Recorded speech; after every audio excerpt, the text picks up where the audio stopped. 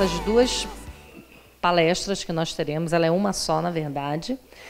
E nós vamos falar um pouquinho sobre como é que nós podemos transformar a nossa mente em relação ao uso do nosso tempo.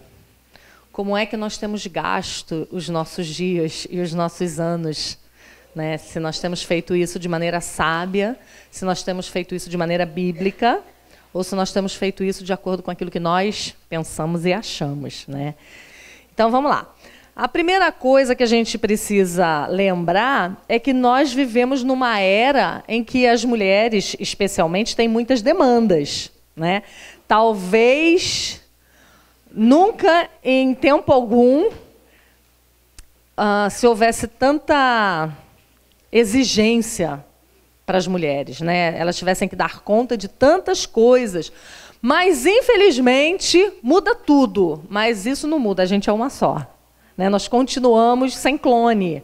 Né? Nós somos uma só. Então, como é que nós podemos discernir o que, que é prioridade para nós hoje, nesse momento, e o que é que nós devemos hoje, nesse momento, abandonar, né? ou retardar, ou esperar para fazer? Como é que nós podemos lidar com o nosso tempo em cada fase da nossa vida. Eu sei que nós temos mulheres aqui de várias idades, vivendo várias fases diferentes, e a gente vai falar um pouquinho sobre cada uma delas, né? Como é que nós podemos fazer isso de forma que agrade ao Senhor em cada uma das nossas fases, né? Ah, e aí a gente vai começar se perguntando como é que nós temos levado os nossos dias, né? Se com os nossos olhos postos nos céus, né? uh, enquanto as nossas mãos estão cheias de trabalho aqui, ou se uh, com os nossos olhos no pó. Né? Isso é uma pergunta que a gente vai ter que se fazer o tempo todo. Né? Como é que nós podemos responder às exigências bíblicas que existem para nós no uso do nosso tempo? E a gente vai ver isso aqui. Tá? Uh, e aí a gente vai tentar entender como é que nós fazemos uma administração santa do nosso tempo, porque Deus vai requerer contas disso também. Né? Ah, e aí, para isso, eu quero ler com vocês ah, o texto de Efésios, capítulo 5. Abram comigo, Efésios, capítulo 5, de 15 a 16, que vai nos explicar que o tempo é um bem muito precioso que o Senhor nos dá e nós vamos prestar contas do nosso tempo ao Senhor.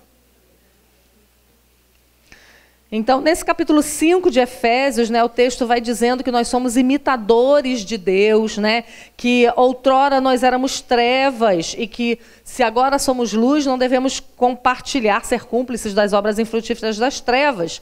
E aí, no verso 15, ele diz: portanto, vede prudentemente como andais, não como nécios e sim como sábios, remindo o tempo, porque os dias são maus. Por essa razão, não vos torneis insensatos, mas procurai compreender qual a vontade do Senhor. Né? E aí eu quero, eu quero mostrar para vocês um pouquinho do que quer dizer cada um desses trechos desse versículo. Quando ele fala, não como nécios, né, vede prudentemente como andais, não como nécios, ah, a ideia aqui é a seguinte, de que não tem de pessoas que não têm entendimento do seu dever ou do valor da sua alma. E por negligência ou por inatividade e falta de cuidado caem no pecado. Usam mal o seu tempo e por isso pecam contra o Senhor. Esses são os nécios. William Hendrickson, um comentarista uh, bíblico, ele diz assim: os nécios consideram de muita importância o que é de pouco valor. Então, olha aí um, uma, uma, boa definição para quem é nécio nesse texto. Né? Ele considera de muita importância o que é de pouco valor, ou mesmo aquilo que pode vir a ser prejudicial, e não apreciam o que é imprescindível. Os sábios não. Os sábios fazem uso judicioso do seu tempo. Então, a diferença básica entre o nécio e o sábio na administração do seu tempo é que o nécio só pensa em coisas terrenas. Ele não pensa na sua alma, ele não pensa naquilo que é importante. Mas ele se lança em empreendimentos com o seu tempo, para gastar o seu tempo em coisas que são nada ou até são prejudiciais a si, enquanto o sábio não. Então, a primeira preocupação descrita aqui uh, é sabermos diferenciar, quando vamos usar o nosso tempo, de coisas que têm peso eterno e de coisas que têm pouco valor. Às vezes, a linha divisória entre essas duas coisas é muito tênue. Por vezes a gente, a gente vai precisar parar para pensar né, no, naquilo que nós estamos fazendo. Porque nem sempre é tão claro assim para nós, né? se aquilo é, é algo de, realmente de peso eterno ou se aquilo é palha e feno. Né? Então a gente vai precisar pensar sobre isso mas como sábios. Né? O resultado da verdadeira sabedoria é um andar prudente, que é oposto à insensatez. E quando ele fala remindo o tempo, literalmente a, expressão remindo o tempo significa comprando oportunidades para coisas que são eternas. Né? Então não é você esperar que o tempo caia no seu colo. Eu preciso ler aquele livro, menina, mas eu estou sem tempo. Você vai estar tá sempre sem tempo. Para coisas boas, para coisas eternas, você sempre vai estar tá sem tempo. Né? Você tem a semana inteira, né? Quarto mandamento: seis dias trabalharás, farás toda a tua obra, o sétimo é do Senhor. Você tem a semana inteira para ir ao mercado. Menina, mas só deu para ir no mercado no domingo, não pude ir para a igreja. Né? Então a gente precisa aprender a olhar para cada coisa e saber que coisas fúteis vão encher o nosso tempo muito rapidamente e coisas eternas a gente vai ter que lutar por elas, porque elas não vão cair do céu no nosso colo. Uh, William Hendrickson também ele fala sobre remir o tempo. Ele diz: aproveitando ao máximo as oportunidades. Não devemos esperar que a oportunidade lhes caia no regaço. Não devem, uh, mas devem comprá-la, não importando o preço. À luz de todo o contexto desse texto, a oportunidade referida consiste em mostrar por meio das suas vidas e conduta o poder e a glória do Evangelho, desmascarando assim o mal, enriquecendo-se de boas obras, alcançando a segurança da salvação para si mesmos, fortalecendo a comunhão, conquistando o próximo para Cristo e glorificando a Deus através de todas essas coisas. Né? Então é lutando para que a glória de Deus seja vista em todo o tempo através das nossas vidas. E ele diz que nós devemos fazer isso por um motivo. E qual é o motivo? Os dias são maus. Os dias são maus. Então, quando a situação aperta, quando a situação se, se mostra né, caótica, então, mais importante ainda se faz remir o tempo. Então, quando a gente está com um filho doente, quando morreu alguém na família, quando a gente está vivendo uma situação de, de pecado é, na nossa família, no nosso meio, aí mesmo é que nós precisamos correr para comprar oportunidades. Ah, João Calvino, sobre isso, ele diz assim: ao fazer alusão ao tempo, ele confirma a sua exortação. Ele diz que os dias são maus, isso é, tudo está cheio de escândalo e corrupção. Calvino, hein? Hum, sabia de nada, né? Ô, oh, Calvino, se tu vivesse em 2022 para tu ver como é que a coisa tá feia. De modo, diz ele, que é difícil para os piedosos que caminham entre tantos espinhos permanecer ilesos. Você já sentiu isso? Como é difícil se manter pura se manter santa, manter as ideias no lugar, manter uma ideologia bíblica entre tantos espinhos no mundo de hoje. Quando a internet te dá uma informação diferente, quando o Instagram, o YouTube, as músicas da rádio, uh, os canais de streaming, os filmes que você vê, todos te dão informações diferentes da Bíblia. Diferentes, contrárias, contrárias, contrárias. Como é difícil. Por isso, remir o tempo é tão importante. Porque nós já temos a nossa própria natureza pecaminosa, que nos leva para longe da vontade de Deus o tempo todo. Né? E ainda nós somos cercados o tempo inteiro de muitas armadilhas. Né? E ele continua dizendo: visto que a época é tão corrupta, O diabo parece ter se apoderado do tempo tiranicamente, de modo que o tempo não pode ser dedicado a Deus sem que de alguma forma seja remido. Então, o que ele está dizendo aqui é que nós precisamos tomar o tempo à força. Porque, por causa das condições do mundo, por causa da pecaminosidade, parece que o diabo se apoderou do nosso tempo. Para quê? Para que nós não tenhamos tempo de conhecer a Deus e de viver para Deus. E qual é o preço da sua redenção? Fugindo das infindáveis seduções que facilmente nos perverteriam. O que é mais fácil? Ligar a Netflix ou sentar para ler um livro? Não é mais fácil se entregar a uma série? Né? Quando a gente acha que as coisas não podem piorar, elas sempre pioram. Né? Antes tinha novela. A novela era só uma vez por dia. Agora tem série na Netflix que você pode maratonar. Você não precisa nem dormir, nem comer. Né? Você pode começar de manhã e você pode ir até a sexta-feira. Na segunda de manhã você pode ir até a sexta-feira. Nunca acaba. Nunca acaba. E muitas vezes nós temos nos entregado, nós não temos pensado sobre o uso do nosso tempo. Então é isso que ele diz aqui, ele nem conhecia a Netflix, né? Fugindo das infindáveis seduções que facilmente nos perverteriam, desembaraçando-nos das solicitudes e deleites do mundo. E numa palavra, nos esquivando de todos os obstáculos. Sejamos solícitos em aproveitar as oportunidades de todas as maneiras, mais ainda, deixando as numerosas ofensas e árduos labores, os quais têm por hábito usar como pretensa desculpa para a indolência, nós, ao contrário, devemos aguçar a nossa vigilância. Então, ao invés de sermos indolentes, ou seja, deixa rolar. Não sou eu que mando no meu tempo, é o que aparecer para roubar meu tempo leva, né? Nós devemos ser vigilantes. E aí eu pergunto a você, Quanta impiedade nós temos contemplado no mundo hoje? Quantas vezes seu coração já se despedaçou ao ver seu filho pequeno fazendo ou dizendo coisas ímpias que ele copiou dessa geração corrupta? Quantas vezes? Quantas vezes a gente não se sente como Ló? Lembra do texto de Ló? De Ló a gente só lembra de Sodoma e Gomorra, né? Que ele teve que sair fugido, que a mulher dele virou uma estátua. Mas o livro de 2 Pedro 2,7 cita Ló.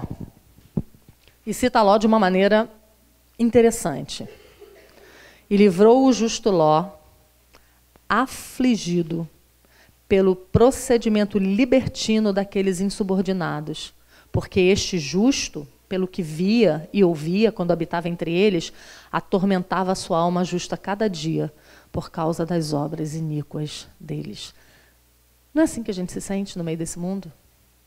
Como o justo Ló, atormentando a nossa alma com as coisas que a gente tem lido, com as coisas que a gente tem visto. Né? Tem dia que dá vontade de sumir de todas as redes sociais, jogar o telefone longe. Né?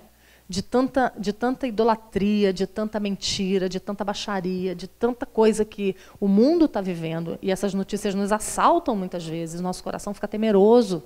Né? Mas é isso aqui. Né? Ló se afligia pelo comportamento libertino dos que estavam em volta. Por isso, isso aqui é tão importante. Por isso, o dia do Senhor é tão importante, que é aquele oásis, né, aquele bálsamo que nós temos durante a semana.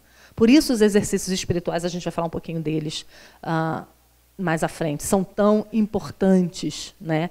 Porque esses dias maus vão nos dar a oportunidade de ser sábios e inteligentes, né? E remir o nosso tempo de uma forma que agrade ao Senhor. Né? Aquele que se exercita dia e noite na meditação da lei de Deus, facilmente triunfará sobre as dificuldades que Satanás coloca em seu caminho.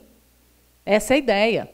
Então, nós não devemos achar que nós teremos forças para lutar contra essas armadilhas para o nosso tempo que Satanás coloca para nós, se nós não nos exercitarmos uh, no, nos nossos exercícios espirituais, nas nossas devocionais, nas nossas orações, na nossa presença ao culto, né, em ouvir a palavra, em ouvir a pregação.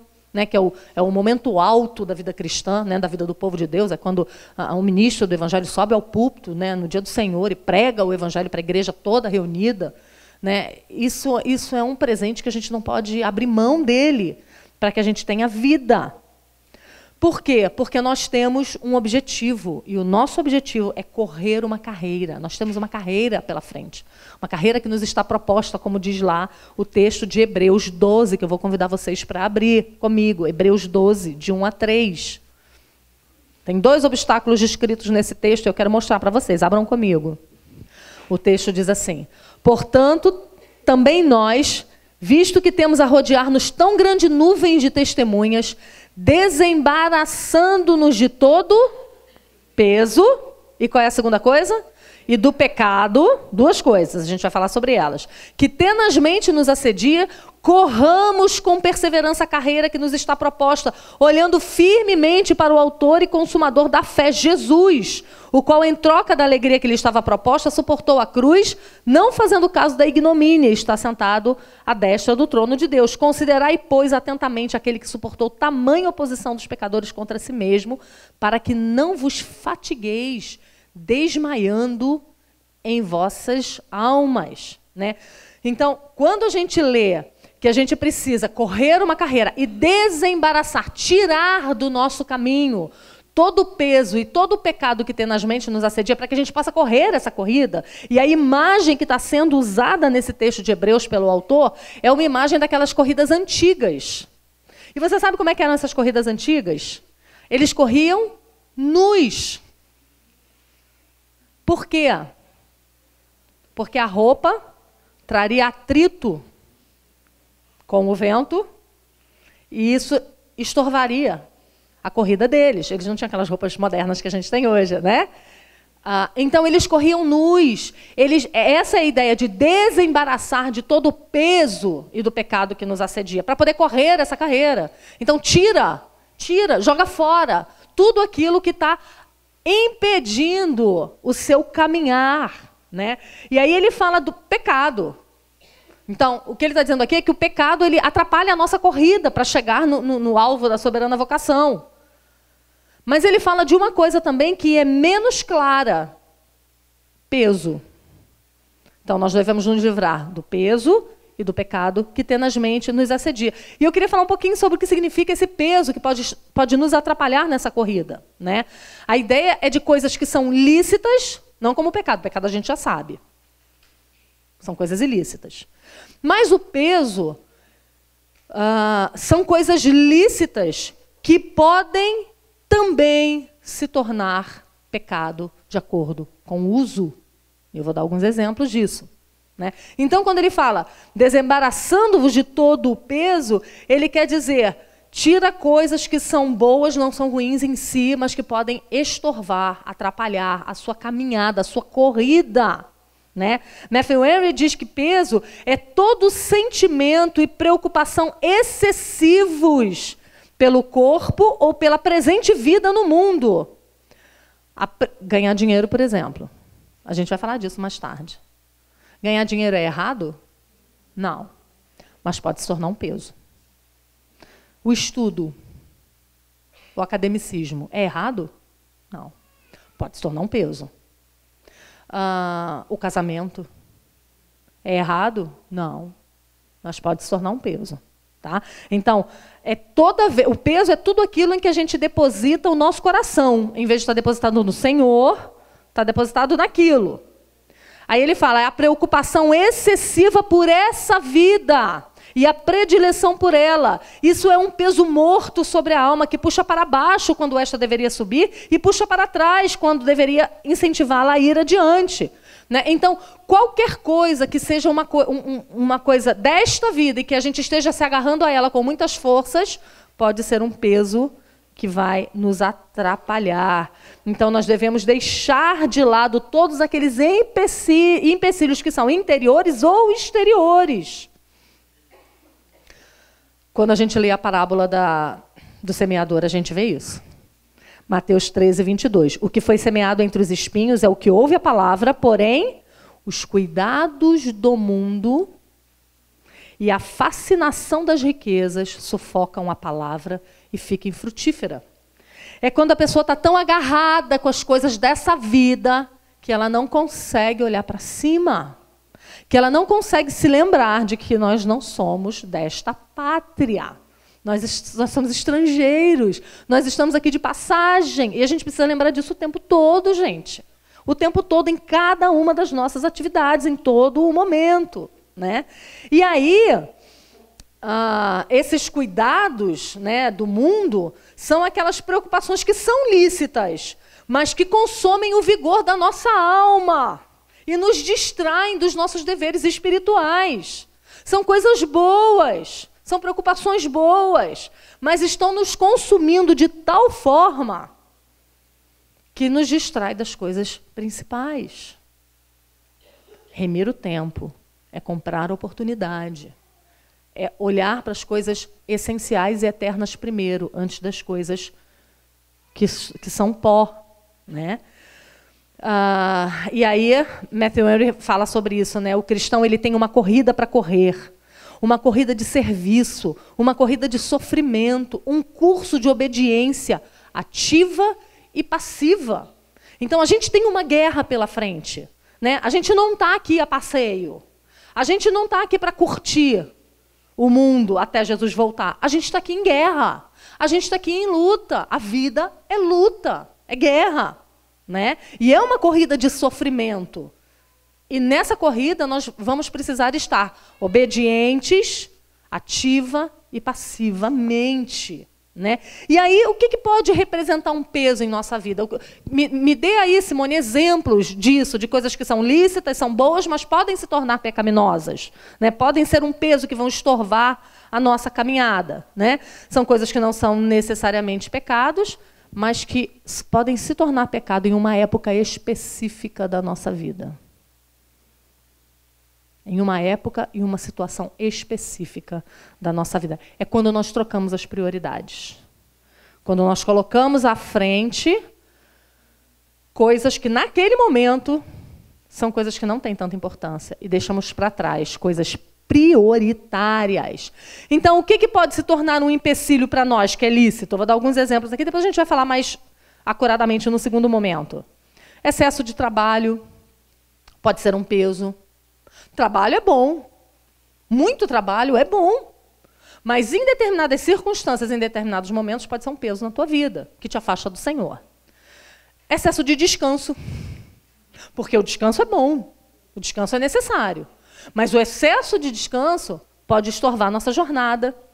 Excesso de divertimento. E aí a gente é, lembra que a gente está vivendo na era do entretenimento na era em que as pessoas precisam ser distraídas e entretidas o tempo todo. Vocês acham que é normal um grupo como esse aqui, que fica parado durante uma hora escutando uma pessoa falar? Não existe isso mais, gente. É só no nosso meio. É só entre os crentes. Verdadeiros, né? Porque também tem crente que não aguenta dez minutos. Por quê? Porque a nossa mente está sendo formada, espere previamente dos filhos de vocês, formada para estar tá em várias janelas ao mesmo tempo. Pingadinho de cada. Twitter, Instagram, WhatsApp, Telegram, um, um pouquinho. Le, mini, micro leituras rápidas, micro imagens rápidas, mas nada parado, estudado, focado. Preste atenção aí, vocês que têm filhos pequenos, tá? Isso é uma informação importante para a formação da intelectualidade. Não é nem da espiritualidade. Da espiritualidade nem se fala mas da intelectualidade do seu filho. Né? Então, o excesso de divertimento pode ser um atrapalho na nossa vida. Você sabia que o seu celular ele tem uma, um recurso de contabilizar quantas horas por dia você está usando? Tenta olhar isso para tu ver, para tu cair para trás. Tenta contabilizar da hora que você sentou em frente à televisão a hora que você saiu de frente da televisão. Só fazer uma conta rápida. E aí depois você vai dizer para mim, menina, não li esse livro porque eu não tive tempo. Tive tempo, porque eu tenho filho pequeno, então não tem tempo de ler. Né? Trabalho muito, não tem tempo de ler, minha casa é grande, não tem tempo de ler. Né? Então, o excesso de divertimento, divertimento é ruim? Não, divertimento é bom. Mas tem medida. Tem medida. Excesso de trabalho para o próximo. É uma coisa boa, mas pode se tornar um peso.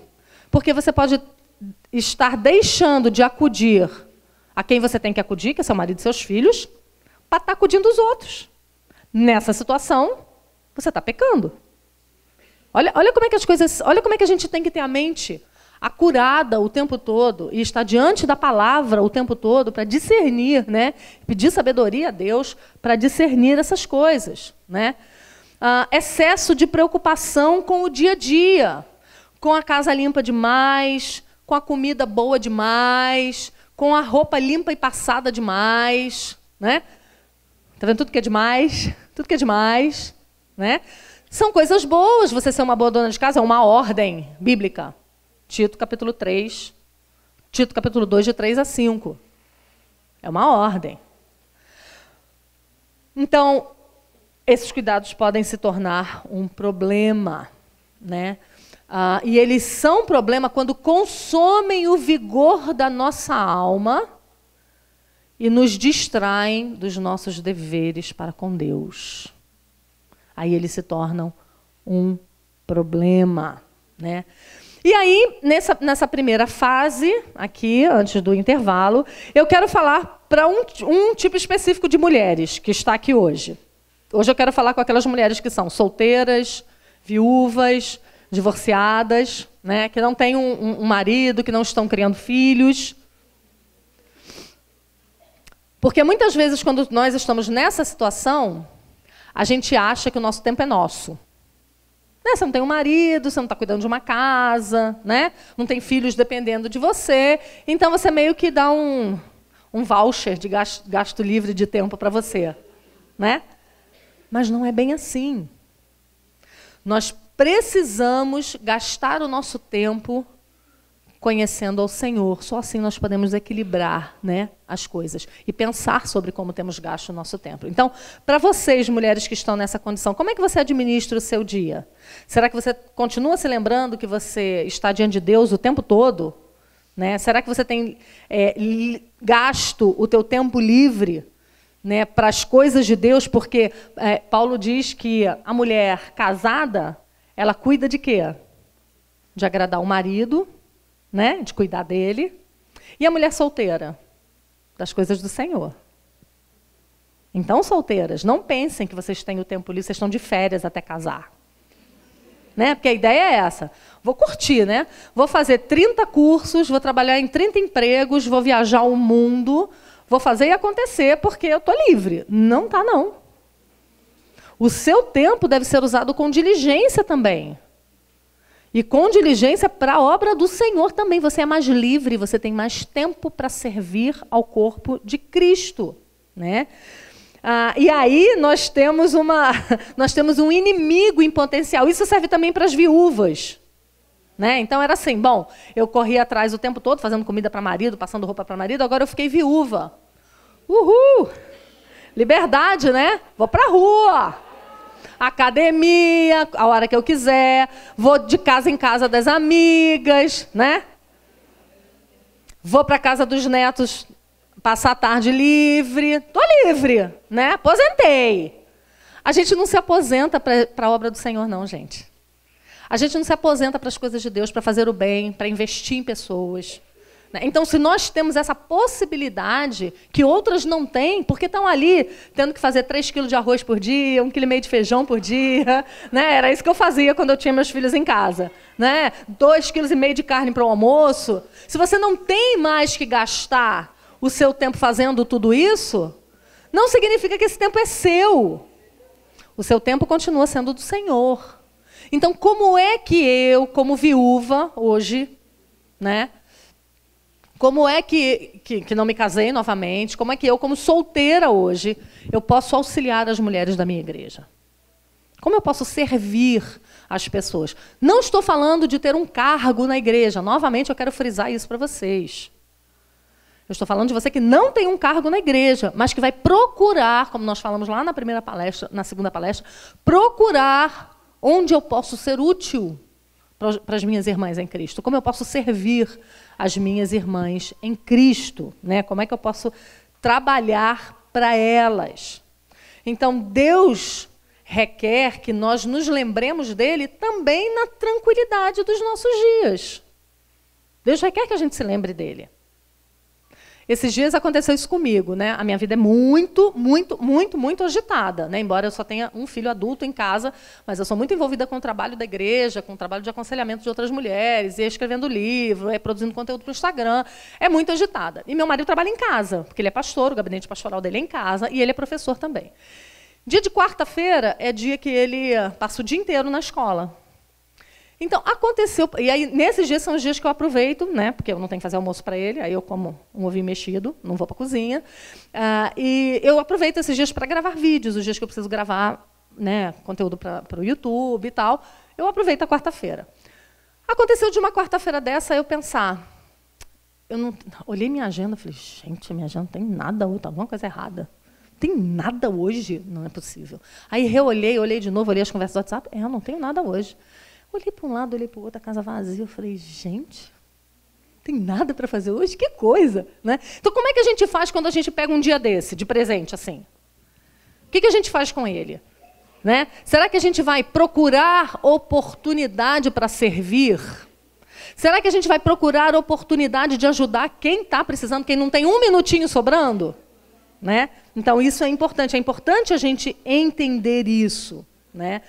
Então, ah, mesmo quando nós temos esses períodos de tranquilidade né, e de paz, a gente deve pensar como é que nós podemos buscar ao Senhor e servir ao Senhor nessas oportunidades, né? E aí eu quero dizer para vocês que têm essa oportunidade de ter algum tempo livre, né? Eu sei que as mães que têm filhos pequenos me olharam narrando essa minha quarta-feira assim, lágrimas descendo, né? Será que isso um dia vai acontecer comigo? Né? Mas vai acontecer. Vai acontecer. E aí a gente tem que saber como é que a gente vai gastar esse tempo. Né? É como se fosse, gente, quando ele fala. É, quando, quando aquele comentarista fala em comprar oportunidades, a ideia é que o tempo ele é como se ele valesse muito dinheiro. Então você tem que empregar bem empregado, porque ele é muito valioso. Essa é a ideia. E aí nós devemos aproveitar esses momentos. Então, nós, mulheres né, é, que, que, já temos filhos criados, né, ou aquelas que são solteiras, aproveitar esse tempo para seguir a Cristo, para trabalhar. Né? E isso não é mágica. Gente, vida devocional, vida de estudo da Bíblia, de, de leitura de livro, né, de conhecer mais a Deus através da palavra, é uma vida de esforço dá trabalho. É um negócio que dá trabalho. Né? Isso requer ações repetidas da nossa parte, que vão desenvolver em nós hábitos de disciplinas espirituais. Isso é muito importante. Né? E como é que nós podemos nos disciplinar para manter esses hábitos devocionais? Né? Quantos livros você leu no último mês? Quantos livros cristãos você leu? Coloca isso em paralelo a quantos episódios da sua série preferida você viu. Né? Será que nós temos usado o nosso tempo para discipular as meninas mais jovens da nossa igreja? Será que nós temos deliberadamente, por escolha própria, nos envolvido em boas obras, oração, leitura, aconselhamento, ajuda, acolhimento, auxílio ao marido, disciplina de filhos, culto doméstico? Né? Então, quando a gente quer resultados da nossa vida cristã, a gente precisa lutar por isso. Não vai cair do céu. Né? O agricultor precisa cultivar o solo e remover as ervas daninhas. Ele não pode apenas orar para que o Senhor, Senhor, remova as ervas daninhas. Ele precisa ir lá, arrancar. Né? O atleta ele vai precisar treinar arduamente. Ele não diz, Senhor, vai, ganha a corrida por mim. Ele vai treinar e ele vai dizer, Senhor, eu fiz o meu melhor. Se for a tua vontade, que eu vença.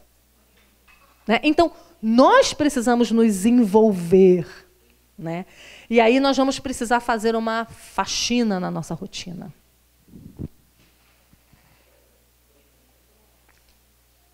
A gente vai precisar olhar o nosso dia a dia com calma. Por quê? Porque pequenos hábitos eles têm resultados a longo prazo. adquirir pequenos hábitos, zelar por pequenos hábitos devocionais, por exemplo, né? eles vão levar anos. Né? Então, a nossa agenda, será que ela é uma bagunça? E nós estamos sendo levadas pela enxurrada, que a gente nem percebe. É tipo, hoje é sexta e você fala, misericórdia, ontem foi domingo, hoje é sexta? Como assim? Né? Porque você foi carregada pela enxurrada de compromissos. Então, se a tua vida está sendo assim, nós temos que parar e começar a colocar ordem. Para que nada que é essencial seja prejudicado. Então, nós vamos precisar forjar bons hábitos e nos disciplinar para caminhar nesses bons hábitos. Né? Então, tudo que é. Estou falando de, de é, se forçar a ter virtudes, né, a ter bons hábitos. Se você for parar para pensar comigo, tudo que é desregrado é mais fácil. Não é assim? Pense comigo. Dieta que, que é mais fácil em relação à nossa dieta? Não é o comer o que tem pela frente? Não é não pensar no que, estar, no que você está comendo? É mais fácil. O que, que é mais fácil quanto a exercício físico? Não fazer. É só se entregar. Gente, o caminho da destruição é muito fácil. Senta, bota a perna para cima que tu vai. Pro buraco. Pensa no casamento. Não é fácil deixar o casamento ser levado? E a gente vê o inferno dentro de casa? Não é mais fácil tu dar para os teus filhos tudo que ele quer para ele não te encher a paciência? Não é mais fácil? Quer tomar banho? Toma. Não quer? Não toma. Quer tomar remédio? Não quer? Não quer? Não toma. Quer ir para a igreja? Né? Que eu estou quase morrendo de apanhar na internet por causa disso. Quer, não quer ir para a igreja? Vai. Ah, fica aí. Né? Ah, Pedrinho não quer ir para a igreja hoje, amor. Vai você, eu vou ficar com ele tudo que é sem esforço é mais fácil. Deixar as nossas emoções descontroladas, não é fácil? É só você seguir o curso. Né? É só você seguir o, os, top, os tops hormonais que a gente tem. É só seguir. Falar o que a gente quer, usar a nossa língua do jeito que a gente quer, não é fácil? Então, para tudo que é pecaminoso, já dizia Roberto Carlos, né? Será que tudo que eu gosto é imoral, é ilegal ou engorda? Sabe o Roberto Carlos. Pena que ele não encontrou a saída e a solução para isso. Né? Mas há saída e solução para isso. Cristo. Forjar hábitos prudentes. Então, essa é a ideia. Que tudo que é fácil, a gente é levado pela enxurrada. Mas se nós queremos viver na prática de boas obras, ah, e queremos que essas boas obras se tornem um hábito, nós vamos precisar lutar. Então, a perseverança na prática das boas obras vai requerer um plano com passos bem tangíveis a serem tomados um após o outro. Tem um, um livro que eu amo, que se chama Antes de Partir, que trata sobre doença e morte da editora Fiel. É um livro maravilhoso. E tem um trechinho que ele vai falar sobre uh, se forjar esses pequenos hábitos, né? E ele fala, ele fala de uma forma muito legal, quero ler para vocês. Ele diz assim: daqui 10 anos, você gostaria de olhar para trás em sua vida, após ter tomado decisões consistentes boas sobre comer bem e fazer exercícios regulares? Claro que sim. Mas há um enorme abismo entre desejo e realidade. A ponte sobre esse abismo é o autocontrole e a disciplina, que produz um histórico de longo prazo de pequenas escolhas, nas quais nos rendemos ao Espírito de Deus, resultando em novos hábitos, em um novo estilo de vida a longo prazo. Então a ideia aqui é de você poder olhar para trás e ver que você viveu anos controlando o que você come, controlando o que você assiste, controlando que seus filhos veem. Anos! Então isso terá formado Uh, um novo hábito e um novo estilo de vida. Porque nós somos assim. Nós queremos os frutos da disciplina espiritual, nós queremos conhecer a Deus, nós queremos viver em paz com Deus, nós queremos uma vida de santificação, mas não estamos dispostos a fazer o trabalho que isso realmente requer de nós. A gente tem preguiça de ler, a gente tem preguiça de orar, a gente não quer ir para a igreja. Então a gente quer o resultado, mas a gente não quer o caminho que leva para esse resultado. Né? Você quer uma casa arrumada e o serviço doméstico pronto, mas sempre acorda tarde demais. Você não vai ter. Você quer que seus filhos sejam obedientes, mas você não disciplina. Você quer ser mais submissa ao seu marido, mas você não gasta tempo se exercitando em oração, pedindo discernimento ao Senhor. Então a gente não vai ter. Você sabe que uma vez eu ouvi falar dos meus filhos. É, eu tenho quatro filhos, os quatro filhos já são adultos, são crentes, né, pecadores, mas crentes. Um dia falaram para mim: Puxa, você teve tanta sorte, né? Eu falei: Fofa. Você tem que trabalhar por isso. Orar, clamar ao Senhor. Mas é trabalho árduo. São noites sem dormir, são lágrimas, orações. Dá trabalho. Então, se nós cres queremos crescer em santificação, nós precisamos nos disciplinar e usar todos os instrumentos e todos os meios que Deus nos deu para isso. Deus nos deu meios para isso. Compromisso com o dia do Senhor. Ter temor e amor ao dia do Senhor, ao domingo, que é o dia que Deus escolheu para que o povo dele, em toda a terra, isso é a coisa mais linda que eu acho do dia do Senhor. Primeiro é que ele que convida, ele que chama, é um mandamento. Ele manda eu ir me encontrar com ele. Uau! É ele que quer que eu me encontre com ele. Segundo, que é o povo de Deus em toda a terra, ao mesmo tempo, no domingo, no dia do Senhor. E nós não vamos à igreja no domingo por quê? Minha unha está doendo, estou com caspa, dor de cabeça. São os motivos mais brilhantes, né? Tem que estudar que eu tenho uma prova amanhã. Tu fez o que de segunda a sábado, amor? Tem mercado. Fez o que de segunda a sábado? Você tem seis dias que são teus. Faz o que você quiser. Administra bem, trabalha. O sétimo é do Senhor. As leituras bíblicas e as orações né, são instrumentos de Deus para nossa santificação. Né? Os grupos de oração no WhatsApp, as anotações nos caderninhos de oração, né? a memorização das escrituras também são modos de nós nos disciplinarmos com esses exercícios espirituais, a leitura de bons livros que nos ajudem a, a, nos firmar na fé, a leitura de bons blogs. Existem muitos bons blogs, não sei se todas vocês conhecem, por exemplo, o Mulheres Piedosas. Mulheres Piedosas é um blog que tem mais de 600 textos só voltados para mulheres. É um tesouro aquilo ali. Você gasta 10 minutos do seu dia fazendo uma leitura dessa. 10 minutos. Ah, nós podemos manter um pequeno um caderno onde nós anotamos os nossos motivos de oração, os pecados contra os quais a gente está lutando agora, hoje, para que ano que vem a gente leia novamente perceba quanto o Senhor nos abençoou e nós abandonamos aquele pecado, por exemplo. Né? Ou um, um caderno de anotação de sermão, isso é muito precioso, gente.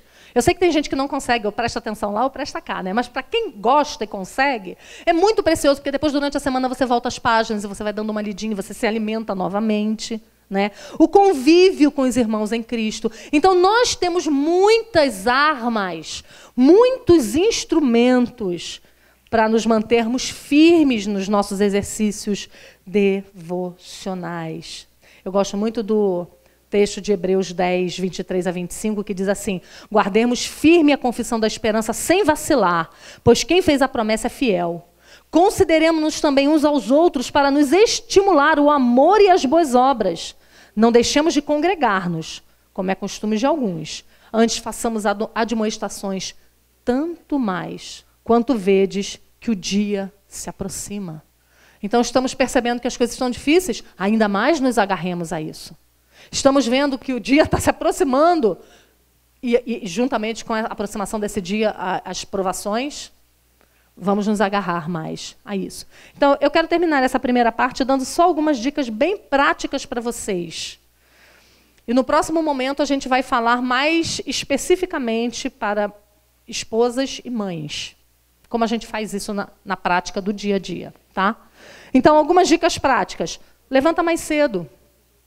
Não dorme tanto. Dorme mais cedo, para você poder acordar mais cedo. Se você conseguir dormir com a sua casa mais ou menos organizada, com as coisas pelo menos fora do meio do caminho, na manhã seguinte você já acorda com mais facilidade. Né? Ah, priorize, você que é dona de casa, priorize a organização da casa, a limpeza, se você tem que escolher uma das duas. Porque pelo menos com as coisas organizadas você vai poder limpar mais fácil depois, outra hora. Né? Seja rigorosa com você mesmo e com seus filhos também. Né? Tirou do lugar, coloca. Abriu, fecha. Desarrumou, arruma. São maneiras da gente tentar organizar o nosso dia. Escreva seus compromissos. Tenha uma agenda, bota a agenda no celular. Escreve na geladeira. O que, que você tem durante a semana? Às vezes, visualizando a tua semana. Eu faço isso todo domingo à noite. Eu sento, eu vou olhar a minha agenda, tudo que eu tenho naquela semana, e eu me organizo. Bom, então eu vou dar uma palestra terça, na segunda eu vou estudar para essa palestra, então na quarta tem uma visita pastoral para fazer com meu marido, então vou me organizar para ir para essa visita. Se organiza. Deixa lá na geladeira. Sabe por quê? Porque a hora que você receber um WhatsApp de alguém falando, bora não sei aonde, você olha e você fala, não vai dar. Não porque não, tem, não dá para encaixar, mas porque se você encaixar ali, outras coisas vão ser prejudicadas. Né? Então, se organize, enxugue a sua agenda. Aprende a dizer não. A gente precisa aprender a dizer não. A gente precisa aprender a não querer abraçar o mundo inteiro de uma vez. A gente não dá conta de tudo. Quando a gente quer abraçar o mundo inteiro de uma vez, quando a gente quer abraçar o mundo inteiro de uma vez, a gente acaba não fazendo nada. Nem aquilo que a gente se propôs, nem o que a gente tem que fazer. Reveja o seu senso de urgência. Reveja aquilo que é prioridade ou não para você. Simplifique a sua vida e seja disciplinada. Né? E no meio desse turbilhão de demandas, entenda suas prioridades. Entenda para que, que você foi chamada. Entenda o que, que o Senhor quer de você. Olhe para a palavra. Né? Você vai precisar fazer uma análise séria de como você tem gasto o seu tempo. Né? E aí, se você tem marido e filhos, então a gente vai falar um pouquinho disso no próximo momento, porque aí a coisa fica um pouquinho mais complicada, porque as demandas são maiores. Vamos orar. Pai amado, nós pedimos que o Senhor nos dê graça para que nós possamos é, comprar oportunidade de viver santamente nesse mundo, Deus. Nos dá graça de entendermos que as disciplinas espirituais elas não vão cair no nosso colo.